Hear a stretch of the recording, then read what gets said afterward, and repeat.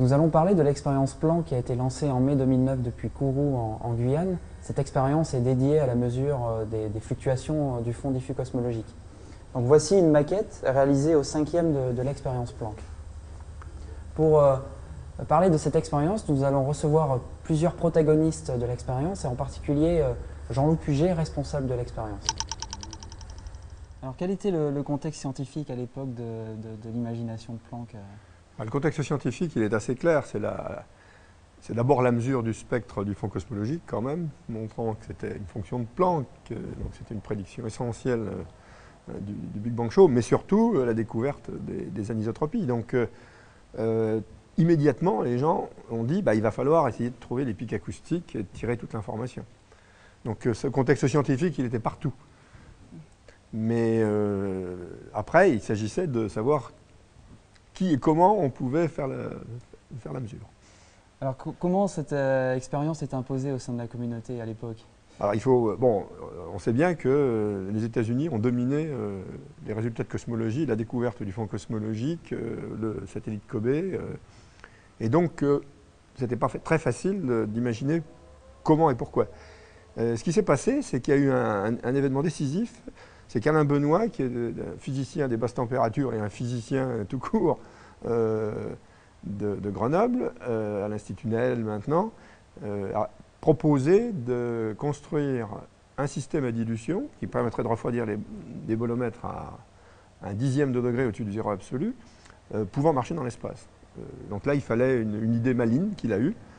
Et donc, ça donnait d'un seul coup un avantage aux équipes françaises et ça permettait effectivement d'être limité par ce qu'on appelle le bruit de photon, le, bruit de grenaille du fond cosmologique lui-même, c'est-à-dire la limite fondamentale. Donc on pouvait construire des, détecteurs qui, étaient à cette limite-là. Qu'est-ce que vous avez ressenti euh, lorsque vous avez appris que l'expérience était acceptée par Alors ça ça, prend quand même un certain temps. On a d'abord été accepté pour faire ce que, l'Agence spatiale européenne appelle une assessment study, une étude en gros de, de définition qui est faite par des équipes scientifiques et des équipes de l'ESA, puis après, on a été resélectionné pour la phase A, qui est une phase de faisabilité industrielle. Euh, et c'est finalement à la fin, entre. Alors il y avait 53 propositions pour M3. Euh, il y en a eu 6 de sélectionnés pour l'assessment study. Il y en est resté 4 ou 5 pour la phase A. Et donc effectivement, là, ça devenait vraiment le, truc final. Donc euh, quand on est sélectionné, d'abord, on est effectivement extrêmement content. Donc, euh, avec euh, François Boucher et Richard Gisper, on avait conduit quand même la proposition elle-même. Euh, on a fêté ça très dignement. Mais en même temps, on s'est dit, bon, maintenant, ce coup-ci, il faut, faire. on ne pensait pas que ça durerait 20 ans, mais on pensait que ça durerait moins.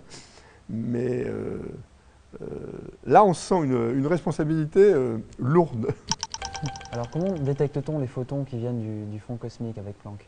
Alors il faut plusieurs éléments. Le premier élément, c'est un, télescope. Il faut pouvoir euh, concentrer les, photons qui viennent du rayonnement fossile euh, sur les détecteurs. Donc ici, sur cette maquette ou un cinquième, on distingue bien le télescope ici, le télescope qui a un diamètre utile d'à peu près 1m20, le miroir primaire, miroir secondaire, et les photons sont, sont, focalisés ici sur le plan focal qui est constitué euh, d'une optique froide, ici que l'on voit la, partie externe qui est refroidie à moins 270 degrés Celsius.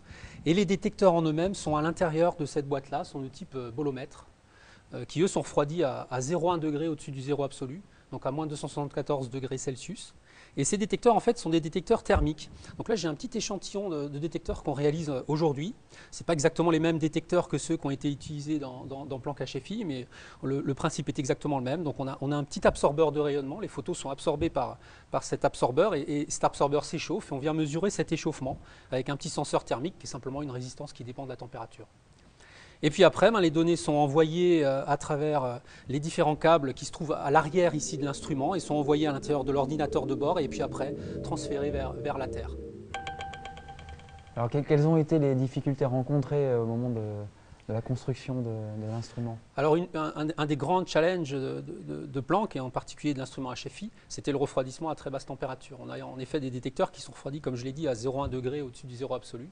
Et faire fonctionner un instrument comme ça dans l'espace, qui a fonctionné euh, plus de deux ans à, 0,1 degré euh, au-dessus du, zéro absolu. C'était véritablement un challenge. Donc pour faire cela, on utilise euh, plusieurs systèmes cryogéniques étagés les uns derrière les autres.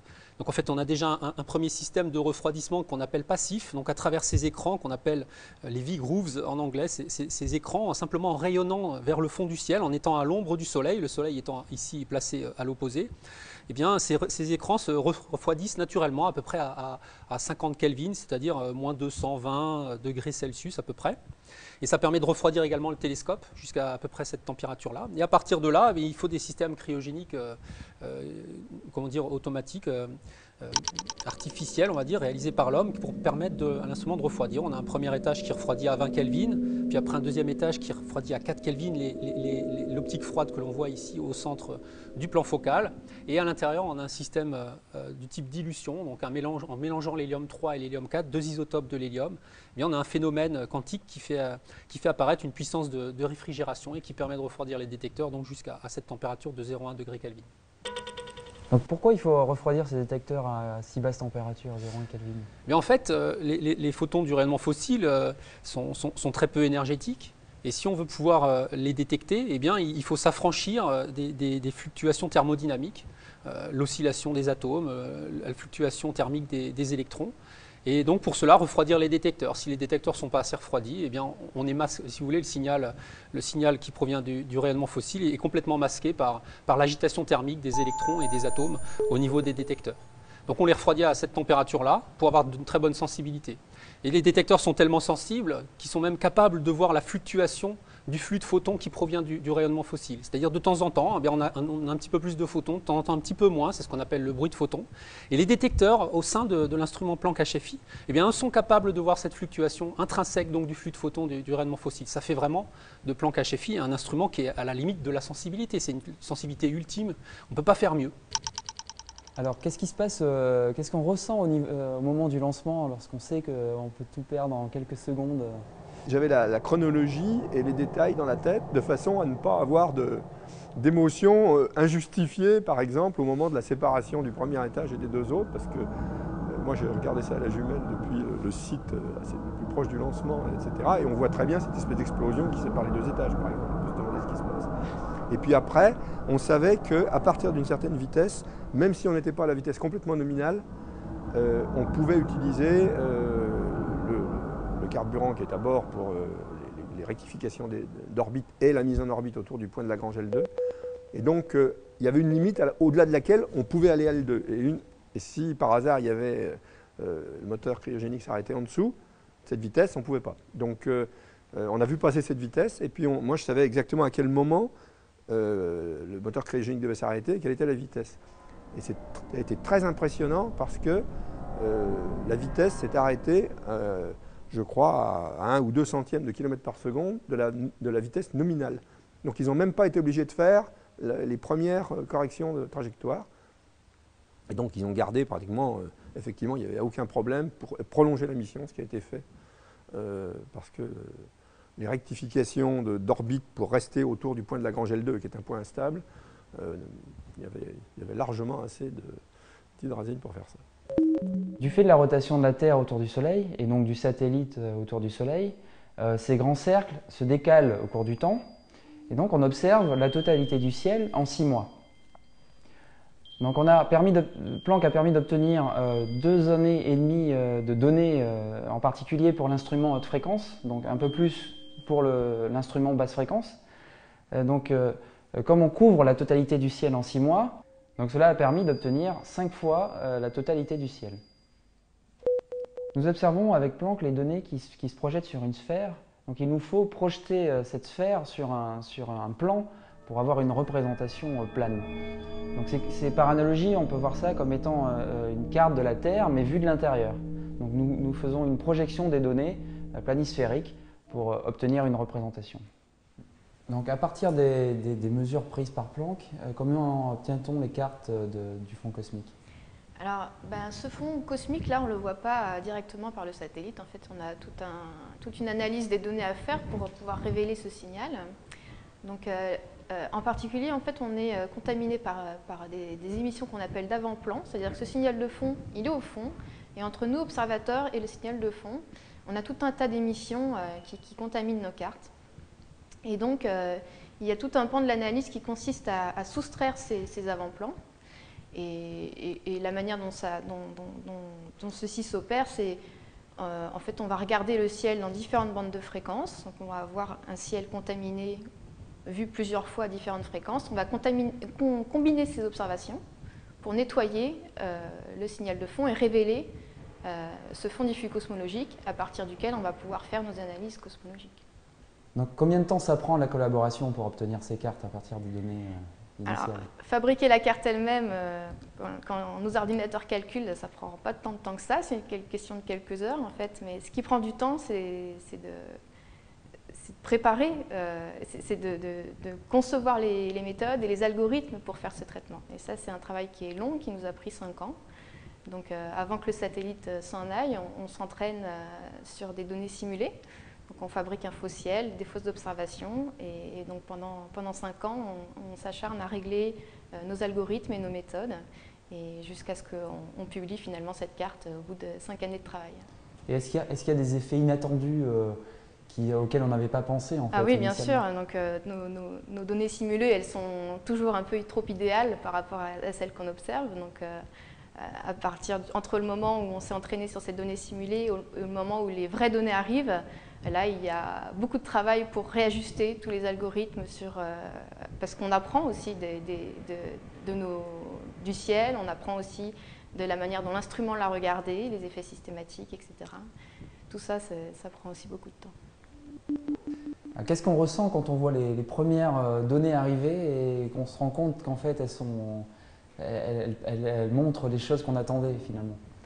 Bah, Oui, c'est assez émouvant de voir euh, que, par exemple, la, première, euh, la première, carte qu'on a pu construire qui, couvrait une toute petite portion de ciel, parce que c'était nos premières données, quand on voit que le signal qu'on reconstruit ressemble à, ce à, ce à quoi on s'attendait, qu'il est là où on l'attendait, comme, comme, euh, comme, il a été observé par les précédentes missions, mais avec cette résolution inattendue de Planck, c'est vraiment un moment très sympathique, c'est sûr.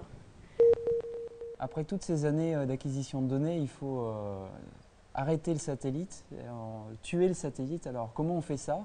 D'une part et qu'est-ce qu'on ressent au moment où on fait ça? En fait, on a eu deux ans et demi au lieu d'un an nominal, donc nous on était déjà assez contents. Et puis l'instrument de basse fréquence a eu quatre ans d'observation. Donc c'était la mission s'est prolongée nettement au-delà de ce qui était prévu au départ. Mais bon, euh, à un certain moment, effectivement, il a fallu arrêter. Euh, nous, on n'observait plus euh, parce qu'on n'avait plus d'hélium pour refroidir les détecteurs, mais l'autre instrument continuait à observer. Et quand on arrête, il y a un accord international qui dit qu'on ne veut pas laisser beaucoup de satellites au point de Lagrange L2 parce que c'est un point très intéressant pour faire des observations. Et donc, on ne veut pas qu'il reste un tas de satellites non utilisés. Alors, les orbites au point de Lagrange L2, hein, elles font pratiquement l'orbite de la Lune. Il y avait trois satellites là-bas, donc pour l'instant, ils ne risquaient pas d'entrer en collision. Mais comme c'est un point instable, euh, ils, vont ressortir naturellement et après, ils pourraient revenir vers la Terre. Donc, par contre, encombrer les orbites terrestres qui sont déjà passablement encombrées. Donc, ce qui est fait après, c'est de sortir euh, avec le, carburant qui reste les satellites du point de Lagrange L2 et de les mettre en orbite autour du Soleil. Et la condition, c'est qu'ils ne reviennent que le satellite ne revienne pas au voisinage de la Terre euh, avant 5000 ans au moins. Je crois que c'est 5000, oui. Donc ça va, euh, on ne saura pas si ça va être vérifié, mais enfin au moins tout a été calculé pour ça. Maintenant sur le moment où on arrête, moi je dois dire, quand on n'a plus d'hélium, ça m'a fait plus d'impression, parce qu'on savait quand ça devait arriver, on, guettait, et puis on a vu d'un seul coup que ça commençait à se réchauffer. Donc ça c'était vraiment la fin des observations pour nous. Mais ça m'a plus impressionné que le moment où ils ont euh, envoyé la télécommande qui arrête les électroniques. Et d'un seul coup, on a vu effectivement les télécommunications s'arrêter. Mais ça, moi, ce qui m'a vraiment impressionné et, dit, ah bah là, maintenant, on a les données en boîte, on ne peut plus rien faire. Mm. Il va falloir qu'on en extrait toute la science, mais, mais on peut, ne on peut plus rien changer aux données.